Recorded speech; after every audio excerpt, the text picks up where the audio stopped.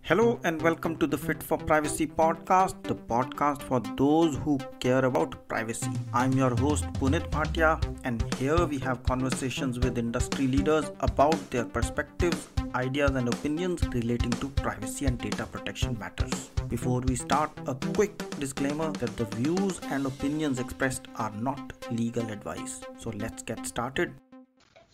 Hello and welcome. My name is Punit Bhatia, and I welcome you to the season 2 of Fit for Privacy podcast. What better way to kick off the season 2 than to have a conversation with a guest who is no stranger to Fit for Privacy podcast, and she has been here in the earlier episodes already. I'm talking about someone who's a policy expert, expert in policy matters relating to data economy, has an opinion and expertise on a variety of topics ranging from artificial intelligence to privacy to antitrust and so on. She loves public speaking and she loves writing. And I have had the privilege of writing AI and Privacy How to Find Balance book with her. I'm talking about none other than Eline Chivot. Eline, welcome. Hi, Punit. Thank you for having me. We talk about AI and artificial intelligence and technology and so on. And then we talk about privacy and people tend to see them as two things apart. How do you see the AI and privacy in that context? Do you see them as friends? Do you see them as foes? And how do they operate? So, well, in the book, we we do make the case for this optimistic view that AI and privacy can coexist, while it's true that they appear to be frenemies, let's say. So, we're trying to reconcile those two concepts that are often opposed in the debate and that's the way forward i think because you can't do one uh, without doing the other. Both are really in the world right now. So we decided to deal with how to respect privacy while innovating through the use of ai and how to respect privacy while using ai uh, it's ambitious. It's not meant to be pretentious but that's what we try to do right? Um, to answer your question more specifically, there are many discussions around uh, privacy that reflect a narrative um, that implicitly connects its erosion potentially to technological progress and in particular the rise of AI. And assumptions include that you know in the past we we had greater privacy and that there will be soon none left after technologies increasingly invade our, our lives. And there's also the opinion that laws and, and principle-based frameworks don't cover AI or don't protect uh, people's privacy from AI. But I believe, especially in Europe, that we actually do have strong safeguards in place, and then it's a matter of ensuring that you can still develop a technology for its benefits while protecting privacy. The law is not the enemy of technology. It's often lagging behind because you know they progress so fast technologies but if you carefully design the law it can really prevent the risks um, without impeding the benefits. So of course we're not promoting the view that ai is a silver bullet. Um, uh, you know i think knowing more about ai through that angle can really help you um, make sure that you have less subjective judgment of what it's about or you know if you see what i mean. We're not we're not saying either that you should sometimes ignore privacy requirements. You really can't anymore. Even uh, big firms are now increasingly competing on how much privacy they can they can they can provide to people. Uh, so it's an expectation. Uh, but at the same time there are trade-offs. I think a good example and we talk about it in the book, is when you have to comply with legal requirements like the limitation of how much data you can collect on people to feed your systems. Because AI is quite data hungry and it needs quite a bit of it. You know, it's still in many systems to be able to deliver accurate results and perform without unintended consequences. So if you are able to collect less data, you might have a challenge when it comes to ensuring your data sets are representative, that it's got enough information and variables to be able to address uh, different categories of people. Um, so to to really end on that note, there, there is merit in engaging in, in reflections to better understand interactions between privacy and, uh, and AI and to build an optimistic case. It may seem counterintuitive at first, but AI, like other technologies before, um, and privacy are not incompatible. There are ways to make AI work for privacy. Uh, what do you think? well, I do think, uh, like anything else, it's important to find a balance. You need to do both AI and privacy. It's not a question of an or, and the debate around whether they are friends or foes doesn't matter. You want to leverage on technology. So that's where AI and robotics will help you. And you want to be protecting people's identities and uh, people's uh, personal data, and that's where privacy will come in. So it's not a question of uh, or debate; it's a question of how do you do it. And there you need to find a fine balance wherein you are able to take care of business interests as well as able to respect the privacy laws that exist. Mm-hmm. And in my opinion, very soon we will also have some AI laws in addition to the guidance we have. So it'll further make sure that you're in a framework and in the balance. Yeah, sounds reasonable. yeah. And now we often talk about GDPR as the legislation or one of the legislation, especially in Europe, for data protection. How is the legislation space around artificial intelligence? Are there a lot of legislation or are we all in guidance space only? That's a good question. Uh, we could spend the day on this, but uh, I'll try to be short. Um, it's a it's a fragmented landscape, you could say. So obviously, with the rise of AI systems, you know, there's been a rise in, in ethical and human rights based frameworks in recent years to guide how you develop and use uh, AI technologies. So far, it's been mainly about developing principled AI. Uh, so values and principles we'd like to see implemented. Um, but for now, there isn't really, you could say, AI specific legislation. Uh, there's a race to legislation uh, because countries want to be able to be the first to create the rules, to have their values reflected, and in particular, the EU wants to become that first region to develop a dedicated rule book uh, for AI. And there are initiatives that are well on the way. There's still a lot of discussion going on. We'll likely see progress this year. And then you have the OECD, the Global Partnership on AI, the Council of Europe, so many international intergovernmental organizations in many, many countries, including the US and China, which we also look at in the book. They, have developed um, or are about to table their own part of the of the homework. Uh, there's an interesting study by the Berkman Klein Center, and you can visualize 36 AI frameworks, and, and it shows there is growing consensus around some uh, trends. Uh, so privacy is one, safety and security, fairness, um, human control, promotion of human values, and professional responsibility. And the hope is that there you know, if these make their ways into hard rules, they could garner or gather consensus, um, uh, you know, among like like-minded nations, you could say, to maximize the benefits of AI while minimizing its risks. So it's an important conversation to follow. Now, there is, of course, existing legislation that already applies to technologies like AI. Uh, and EU, again, for example, the privacy law called the GDPR, which came into force in, in 2018, it does cover and impact technologies, including because uh, it covers the processing of automated decision uh, making uh, systems, and, and because AI is a lot about data, of course. Sure. And how do you see this evolving in coming years? You mentioned that this year or early next year we will have a legislation on AI in Europe. Do you see that happening in other parts of the world or every country then getting into a, a AI law? Like we had a few years ago, GDPR leading the way on privacy law, and then we have 100 plus countries passing their own privacy laws, very similar principle based around GDPR, but in their own way. Do you see that happening in AI also? Well, I don't have a crystal ball. Well, it's not with me right now, but uh, there are calls to update um, the laws like the GDPR already to make it more fit for purpose for you know new and emerging technologies or for those technologies that we haven't anticipated yet but might emerge in the future. Um, there are also existing frameworks like for uh, product liability and machinery laws that po- policymakers are currently looking at to see if you know that could be complemented by additional uh, rules that would be specific to AI. Um, I think it's likely that nations will continue to compete to ensure that their own legislation on AI is tabled, first of all, and then in parallel, there are signs that it could be that they work together within multilateral frameworks and organizations to adopt common rules. It's it's hard to really bet on which will happen first. Yeah. In, in some countries, they've decided not to regulate AI and to keep this principle based. I think in Singapore that's the case.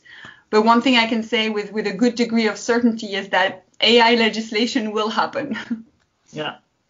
So essentially, we will see a lot of movement, a lot of new laws, new principles, new regulation, or new guidance at least coming in this space from each and every country. And this is, will remain an area of activity. Yeah, I think you could say that. yeah, good. And now that if we say AI and privacy matter, and if they do matter, the question is how do you find balance? And then what are your views around how do you find balance as an organization, as a person working on AI projects? So you're you're you're asking two questions here. One would be why do AI and privacy matter, and then how do you manage to to kind of have those two coexist, right? When it comes to AI, why it matters, uh, you know, companies are using AI to drive more efficient operations and processes, to transform their business models, to personalize their products, and many of the you know the success of organizations is set already today to to you know in their ability to to automate uh, processes using AI to boost productivity and the the economic value of, of AI that's being projected. It's difficult to predict, but it's seen as the biggest commercial opportunity. So it's a critical asset for competitive differentiation of companies, but also for nations. And you might have heard of this global AI race that's going on. When it comes to why privacy matters, it's been you know, in some ways part of, of a lot of our human and societal concerns for a long time. And the changes around us and, and progress in technologies have meant that you have technologies that can be used to enhance privacy, but can also impact it negatively if they're being misused, right? So that's why alongside headline grabbing scandals we've seen emerging, say over the past five years at least, uh, on um, you know on how our data is being used well that's why privacy is increasingly discussed as a value even as a human right that you have to protect. Uh, and it, it, it matters not just from a human rights perspective but but also because regulators have been stepping in in ways that they never did before to ensure that privacy is something organizations have to uh, respect but before, I mean, maybe before we discuss how to find a balance, I was wondering because you're the privacy expert, so why why would privacy matter in, in your view? Well, privacy matters because every one of us has privacy needs, and when I say that, you talk to any person and you ask them what's their name, and they will happily share their name. And then you ask them where do they come from, they will happily let you know where do they come from. And then you get into are you married or do you have a partner? And it gets a little bit uncomfortable. Now, uh, almost 50% of people would be like, why? Why do you want to know about it? And then you get to the next question saying, uh, which bank do you use? And it's uncomfortable. And then you say, what's your bank account number? And then you say, what's your password? So in a space of six or seven questions, you see from the degree of comfort shifting the first question, what's your name being very comfortable and what's your bank account number or password? It's completely uncomfortable and very, I mean, almost nobody would allow you your uh, password unless it's a family member. Maybe even then people will have reservations. So it's a question of choice. It's a question of comfort. And that's what privacy is. Now, somebody maybe will be okay to share, and it depends on who you are with. Yeah. Maybe if you're with a deep friend for last 10 years, you would share which bank you use, uh, who's your partner, how he is, he's good, bad, or she's good, bad, all that's okay. So it's the degree of comfort in a context, and that's privacy. So where you are and what you want to share, you have a choice and you want to respect that. And if I push that person to share more than they are comfortable, they feel their privacy is violated. So that's why privacy matters. So that's in general context. But when we are giving that data to an organization, we respect or we expect that same respect of our choices, our uh, context to be taken care of. Just because I give my credit card number to a company for processing of, let's say, the hotel bill, which we are not traveling that much in a pandemic, but I expect that to stay there. I don't expect that to be charged later on, one month later, and say, uh, you can charge me whenever you wish. No, you can charge me now, and it's only now. After that, forget about that credit card number. So that's privacy. That's privacy matters. And then companies need to respect it. And since it's a matter of individual, because even in these seven questions depends on the context, where do you decide, who decides. it becomes challenging option. And when it becomes that challenging, the question is who decides? Mm. Your version, my version, or somebody else's version? And do you have to live with somebody else's version? No.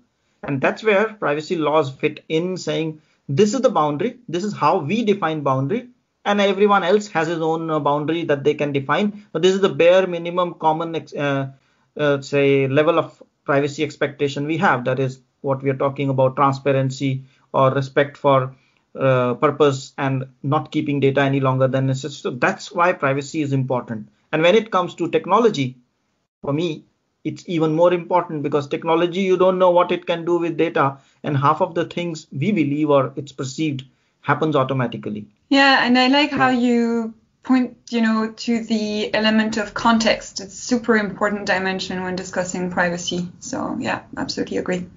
Right.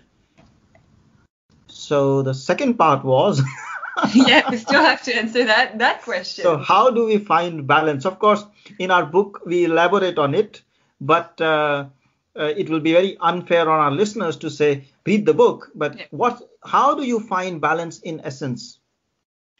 So I think well we're, we're saying that these two things basically here's what you know they mean to you. Here's how they interact. Here's how you can deal with it. And within all that, what's relevant to you. I think it's really important to really look at both these concepts and look at your own uh, organization, its processes, values, mission. Then you prioritize what would work and what would be really meaningfully uh, addressing all this. And it depends also on the products and the services you're developing, depends on your customers too.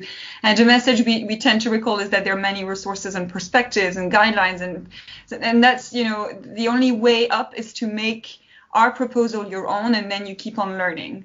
So what we proposed you know to find balance between ai and privacy is is to take into consideration a number of principles. We've taken them from existing frameworks and guidelines so human control lawfulness uh, transparency accountability etc i'm not going to spoil everything. Um, and you, you also need to measure the trade-offs we say. So for instance on explainability it can be really difficult to explain in simple terms how a system works. You, you, often can't oversimplify it, but there are ways that you can do so while respecting the requirements that you know, are set in the law. And we, we also flag it's a recurrent issue for many organizations so that you're not alone in this. And some, some other principles are more straightforward than explainability, like, like security. We're saying this is, this is a must, not just for your, your customers, and, and how that can impact them, but also the long-term sustainability and the reputation of your business. So the, the consideration of various trade-offs is a good way to start the, the journey towards finding balance. And some things you can do is to look at the objective at your system and what it really, really needs and what it doesn't need so much of. So you, you can ensure, you know, that the data you'll be using for a virtual assistant is necessary to provide a service, for instance. So let's imagine also you're a car rental company uh, and, and your customers are using your, your chatbot to book a car. You may need data like whether these customers have the right age to be allowed to drive, uh, but you don't necessarily need the exact age. You can just uh, ask, are you, um, you know, above 18, or can you show me your driving license potentially? You may not need to know exactly where they will be going, maybe just to know if they will be going abroad. Sometimes they do ask you that question. Uh, you know, you, you, don't necessarily need their home address, just the address of the place where they may, may be uh, dropping the car afterwards, you know. So that's really some kind of like an example of what you need to really figure out is really important. Um, and then balance is really about involving people. Uh, you need balance in the perspectives of the people around the table to, to drive your decisions that will be fair, um, appropriate, um, acceptable, and accepted. And you need to raise that awareness to ensure everyone gets a chance to um, assess, you know, uh, and agree on things. You need to take really a hard look as you know as to how to involve them when uh, and then what we recommend um, for that uh, is to, to convey some roles and responsibilities in your project. Uh, so, for instance, you'll have uh, someone covering for legal perspective. We're also recommending someone for the financial perspective, the societal perspective, and so on. And we also adjust. We offer ways to adjust um, that effort depending on if you're like a big or smaller firm. So you, you need to bring in legal risk management, the people who are building the AI systems, put them into the same room and help them speak the same language. You have to bring in the right people and marry those two um, sub areas that are often distinct, and that's technology and culture. And they are seen as distinct, but you have to reconcile them somehow, and that takes a lot of work. Indeed, it is. I mean, in nutshell, what you're saying is have a principle-based approach, look at different perspectives, get people around the table, and then know your purpose, and then according to that purpose, drive this entire exercise. That's very uh, interesting. Now, if somebody wants to buy this book, where can they find the book that we've written?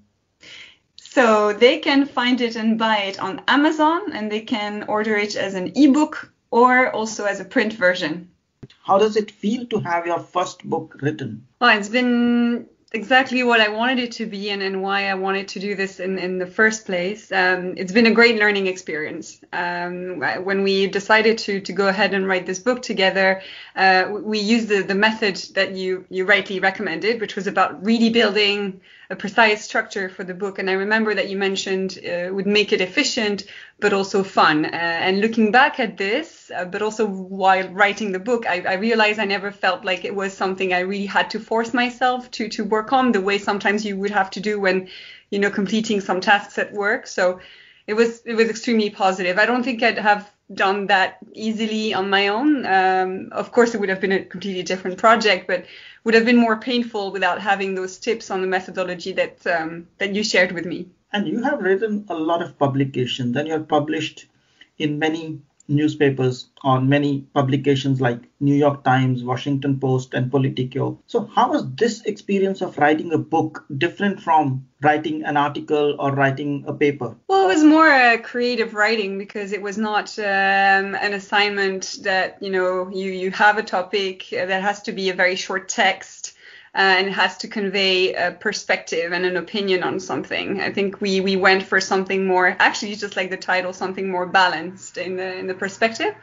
And you know, it was very positive in the in the sense that the process was was different and it was great. I mean, we had different interactions to touch base. So also, I was not the only uh, pair of hands writing the book. Um, and that gave us also discipline, a sense of progress quite regularly uh, when you know you you write a book it's not just something you you wrap up within a few days so you have to make sure you you maintain the distance uh, and and you have a sense of, of clear direction uh, i think we had a good way to split work amongst uh, ourselves and we had that complementarity right you you, yeah. you would provide some con- concise input on which I really enjoyed elaborating on. And on the other hand, I'd give you a bit of heavier chunks of text to review, which is you know something you actually said you like to work with. So i think with we we really got along in this process uh, and and giving you know writing a book with four hands give you a sense of commitment motivation and and in a way freedom um, because of the creativity. And so the learning process was quite interesting for for me yeah. Yeah. I think when i look at it people think that writing an article is one time job. You write in one hour and you write 40 or 50 articles and you can publish in a book. That's the perception that they have. But it's not as simple as that. It's about making them connect, making them flow. Yeah, exactly. It's a very different process, and you really have to get along if you're not the only one writing the the article as well. Indeed, that's also the complementarity is also very important. I was also skeptical mm-hmm. when I chose to co-author, but it worked well, as mm-hmm. you said. Uh, so talking about content, because it's about AI, privacy, I mean, people tend to see them as some of them friends, some of them say it's foes, more there are more people who say it's foes. But why should somebody read this book from your perspective? Yeah, that's a good question. Uh, we can start with the technical profile of a reader um, because you, you, I think you have to be curious. You want to learn about AI and privacy. What is it about these two concepts that that you've heard in the news or in some conversations, but you haven't had the time yet to take a closer look at. Um, or say you, you should read the book because you, you like to read a little bit of theory because it's important, you know, as a foundation for action, but you're also a doer. So you want to find out more concretely how you can improve things, say in your organization. And so in this book, I think you'll get both parts. Um, and you also get a balanced perspective, which which could, you know, give you an angle to help you make sure that you have less of a subjective judgment of what it's about. And because we're trying to reconcile those two concepts that are often opposed in the in the debate. Um, and so now we're saying, you know, both of those things, AI and privacy, are in the world now. You can't do one uh, without doing the other. So that's the way forward. Um, and I think that's uh, yeah, a few of the reasons. And another one, maybe if I may, is that question of responsibility. Um, you know, you have an environment that's harder to navigate. AI is crucial for businesses. Uh, you have to use it to compete. Um, so your business model has to be either designed for it or be ready for it. So you have to understand a bit more how this all works so that you can use AI responsibly you know, and in compliance with the current laws that are in place. Great. So if someone is in privacy or in AI or both or wants a perspective, this book is for them. Exactly. Good. We all tend to have favorites. and did you have a favorite part in the book? And if it was, why was it a favorite over the other ones? Well, it might surprise you, but I think it's the part that you wrote. Um, so yeah, I should have probably picked a part that I wrote, but um, what came to mind straight away was that sure. you know it's it's a part of the book, but it's also a moment where you you sort of came up with this creative idea to offer that framework with this yeah. specific checklist of roles and responsibilities for you know organization to operationalize and, and activate all these principles in practice for AI and privacy. And I think it's a really great um, outcome to, to make sense of all the theory and that really connected all of this, I find. I don't know what you think about it. I think absolutely. I agree with you. We had a lot of good discussions, but then to talk about all the frameworks and then to think and brainstorm, of course, uh, I'm glad you give me the credit, but it was together that we brainstormed. And the question was, okay, we talk about all the frameworks of AI, we talk about privacy, what is it? But then what's in it for the reader and how do we make this book a different book? And then the title helped us saying how to find balance. But how do you find balance is you need to have a framework, you need to have principles, you need to have an approach, the do's, the don'ts, the critical success factors.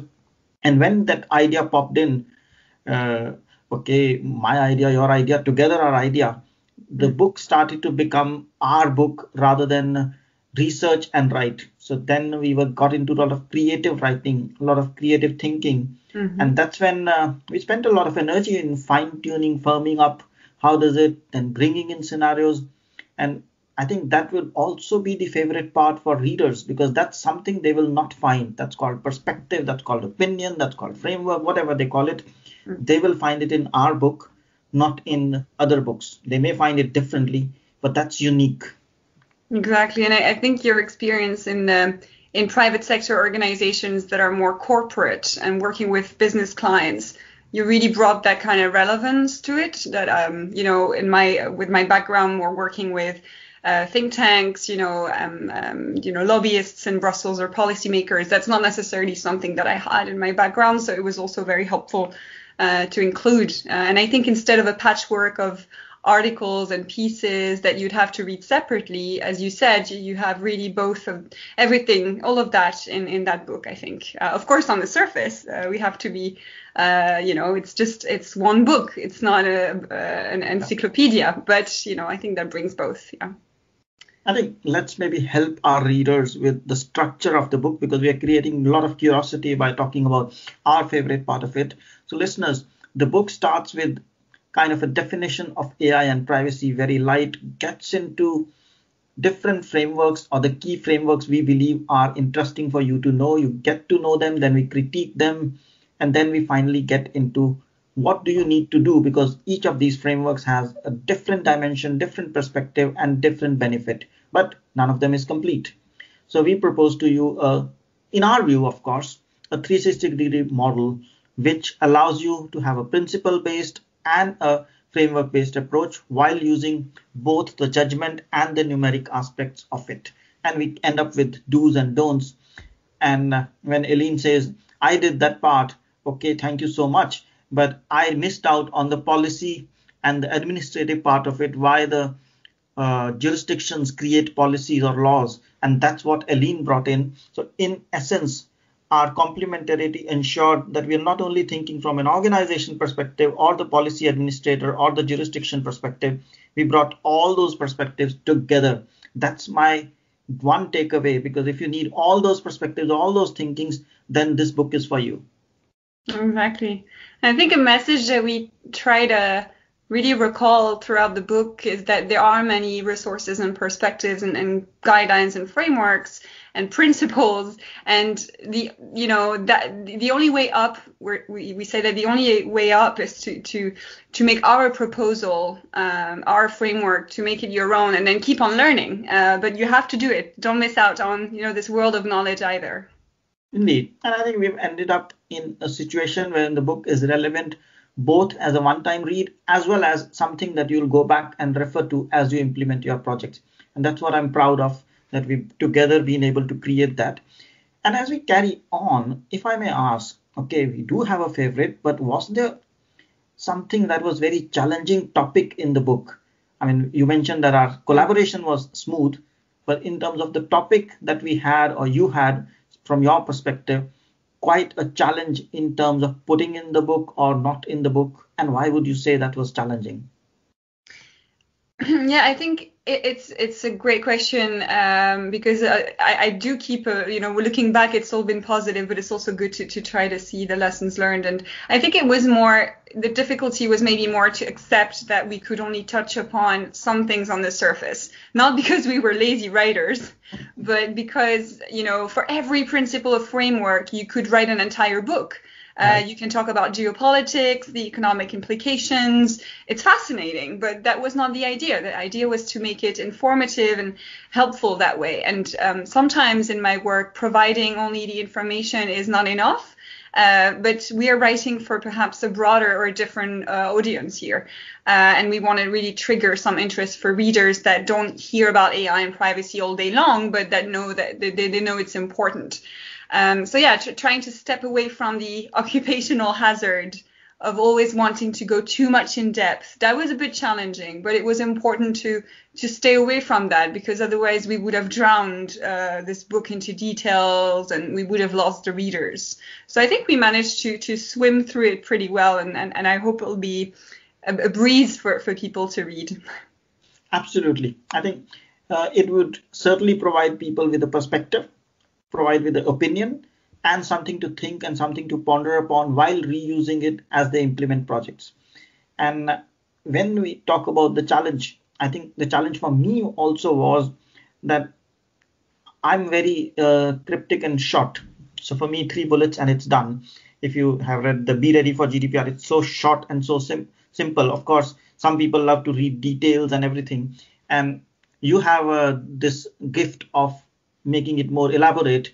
And what we managed to find is the balance between the two. It's yeah. not too long, it's not too short. If I had written it, it maybe would have been 70, 60% of what it, it is. And if you had written by yourself, it would have been 140%. But we managed the 100% somewhere in between. And we also found the balance between being too detailed and too uh, high level. Exactly. Yeah, that's spot on. yeah. So uh, everybody says their book is unique. Yeah. Mm-hmm. Yeah, it's a good and selling. We have the right to say that, right?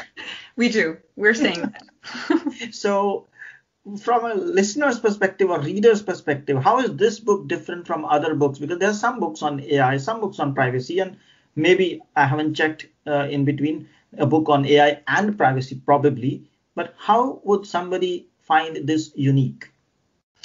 I think we sort of mentioned that a little earlier in the conversation, right. um, but um, that's the way indeed in which we, we manage to, to touch upon and inform about policy and governance aspects at, at a high level, as well as practical, technical, and organizational aspects to make those very relevant to business practitioners. And bringing both these worlds of, of work and expertise together i don't think that's very common. I think we manage to reconcile things that are often opposed in a debate or at least show it's possible to accept both and deal with both without ideology.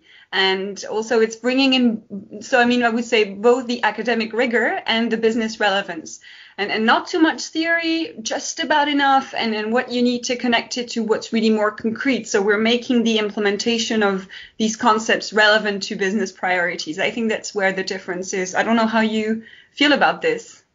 I fully share and endorse your view.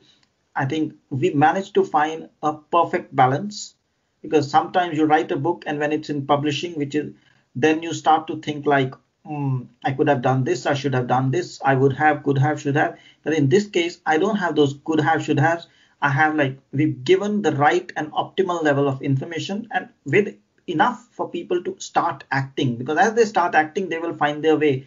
They will maybe say let's get the oecd framework or european framework or us framework. But then they have options to choose from. But in a very short span of time uh, if they read our book, they will get a 360 degree perspective and a balanced perspective. That's the most important thing because you talk to privacy people, oh no, AI, and to AI people, oh no, privacy is going to kill us. They don't want us. And we eventually, in the end, have managed to balance that perspective. I mean, of course, we also had those uh, imbalances in opinion when we started long back.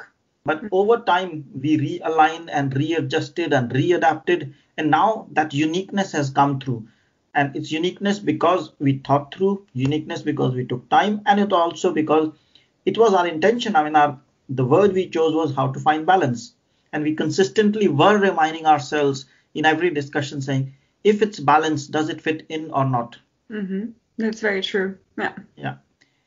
So we all know that there are challenges when it comes to ai and privacy.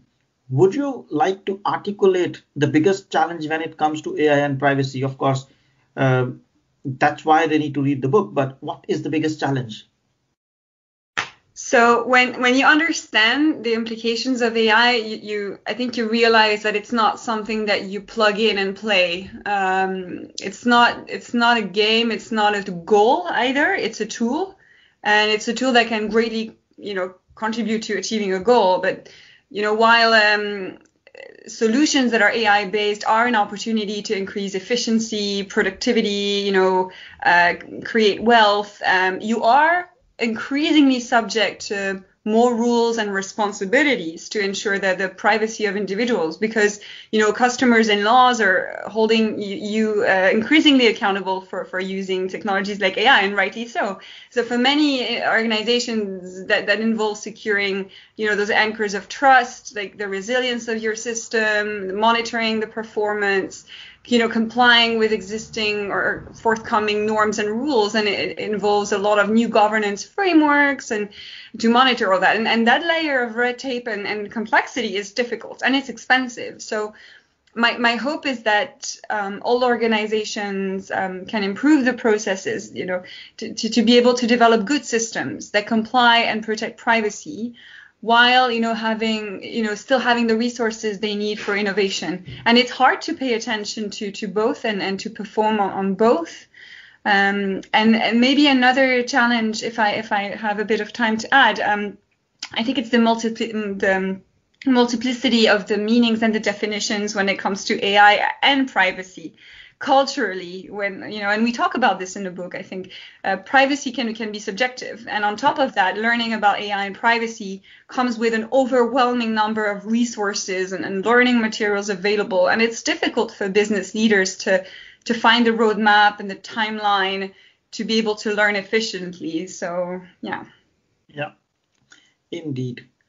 And when we talk about books every author has a message. And here with two of us so, what is the one key message in this book that, according to you, we are delivering? Uh, so, overall, I think we are saying, okay, there's these two things. Here's what they mean to you, or what they can mean to you. Here's how they interact, and here's how you can deal with, you know, within all that, to deal with with with what's really relevant to you. And overall, we, we do make this case uh, for an optimistic view that you know maybe not neutral but optimistic that AI and privacy can can coexist while they appear to be to be frenemies. Uh, I would say that's the key message. Uh, but I'd, I'd, be curious to know what do you think would be the one key message of our book. Well, it's aligned. Uh, I believe uh, when you say that I will share the same thing, but I paraphrase it in a different way. I think when it comes to AI and privacy, there are different views, and those views tend not to align. And we made a case that the alignment is possible while balancing the AI interest, which is more business driven, and privacy interest, which is more legally driven or compliance driven, and balancing the two. That's what we have aimed at, and that's what we've been very successful to an extent. Because when we started, we didn't see that, but when we ended, we saw how it's possible, how it's uh, doable, and that's the essence of our book, the balance. I think that's the core word. I agree. Good.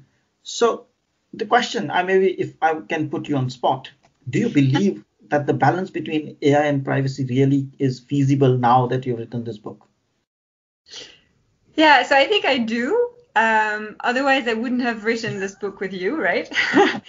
um, right. Um, deep down, though, and, and if you read a little bit of stuff on those topics, I mean, you, you can quickly become a skeptic uh, because yeah. we humans we we tend to think sometimes more narrowly than than we're capable of and we're all in our bubble and accepting that two things that seem to be in contradiction with each other can actually be you know can work with each other that's maybe a challenge um, and i think um, it, it, when it comes to striking the balance i think it really depends on on, on strong-willed uh, leaders. Uh, for instance in our you know for our approach to work you need to bring in legal um, risk management and you know the people that are building the systems put them in the same room and help them speak the same language. And you have to bring in the right people and and marry two areas that have often been viewed as distinct which is technology and culture. And i think that takes that takes work and and actually you, you could say it takes a village even indeed and i would fully share that view i mean it was challenging but we managed to find the balance. For the newsmakers, for those skeptics, they will always find things, challenges, issues to say, no, this is not possible, this is too optimistic, and all that. But there's a way. And as you said earlier, we can't change the fact that there are privacy laws, and we will not be able to change the fact that there will be more and more automation. Exactly. So both things are a reality. The question now is are you going to find the balance or are you going to continue the debate? Mm-hmm. What we are aiming to do is to get the debate shifted to finding a balance and saying how do we live with both of them together and the perspectives that you need to look at to find a balance. Yeah, that's right. Mm. Good. So, would you write another book given this uh, experience? For sure, yeah. Um, because now I know I can do it. So uh, thank you, Punit, for the adventure. Um, I, I, will. I will also tell people I already do uh, to to seek your help if they want to write a book because I, I really realized it wasn't as hardcore and inaccessible as I thought. And and uh, but I might if I. I, I might write a book that has nothing to do with anything serious policy and business stuff, though. It's something that uh, would be building on a blog that I used to host mm-hmm. when I was a little younger and on some notes that I've been keeping on, on people's idiosyncrasies, you know, in places I lived and environments where I worked. So that would be some sort of a personal pet project. But maybe there will be other books that are useful to, you know, organizations. And I very much enjoyed the that that kind of t- building a tool with a purpose. So yeah, it was great. Good. So as always, it was good to have a conversation with you. Of course, we had many conversations between the podcast recording last time and this time, but a recorded conversation, if I may say, a more formal conversation. So thank you so much for your time. And uh, for having if me. the readers want to see or read or find the book, then it's on Amazon. And for now, thank you so much for being here. It's a pleasure, as always. Yeah, thank you so much. And I wish uh, we will have a lot of people coming up and coming up with reviews and feedback and would like the book and all the best to you. Thank you. Likewise. And thank you, everybody. Thanks for listening. And now we ask you for some help. Take a moment to subscribe and review this podcast. Your support matters. And if you have done it already, thank you so much. Now, if you have questions or suggestions, drop an email at hello at fitforprivacy.com. And finally, if you know someone who will benefit from this. Share this podcast with them and help us grow. Thank you so much. Stay safe and see you next time.